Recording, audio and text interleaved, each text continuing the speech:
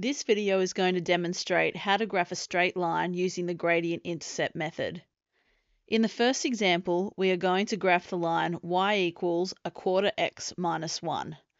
This equation is written in the form y equals mx plus c, which we call the gradient intercept form of an equation, as we can easily determine the gradient and the y-intercept of a line when an equation is written in this way. So before we get straight into graphing, let's determine whether the line has a positive or a negative gradient. The way we tell this is by looking at the number in front of the x, or the coefficient of x. This number tells us the gradient of the line, so if it's a positive number, then the line will have a positive slope. If it's a negative number, the line will have a negative slope.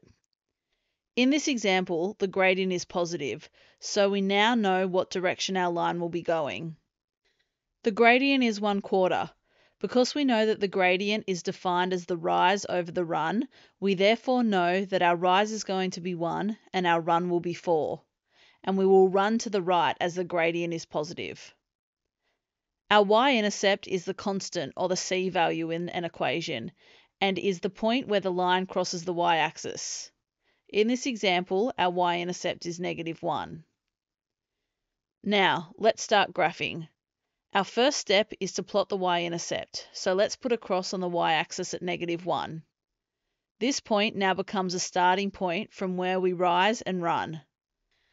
So from negative 1, we are going to rise 1 unit and run to the right 4 units to create a positive line. This is where we mark down our second point. As soon as you have marked down two points, you can draw a line connecting the two points. It's good practice to extend your line beyond these points, to put arrows on either end of the line to indicate the line continues on in both directions, and to write the equation on the line. And so there you have the line y equals a quarter x minus 1. Now on to our second example. We will be graphing the line y equals negative 3x plus 1. So looking at the number in front of the x, we can see that it is a negative 3, indicating that our line will have a negative gradient. Okay, so let's now fill in that the gradient will be negative 3. Now to write a whole number as a fraction, we just write it with a denominator of 1. So to write negative 3 in rise over run form, we will have a rise of 3 and a run of 1.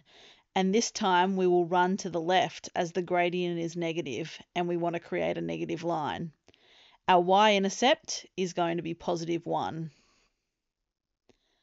So again, our first step is to mark on the number plane our y-intercept, which is at positive 1.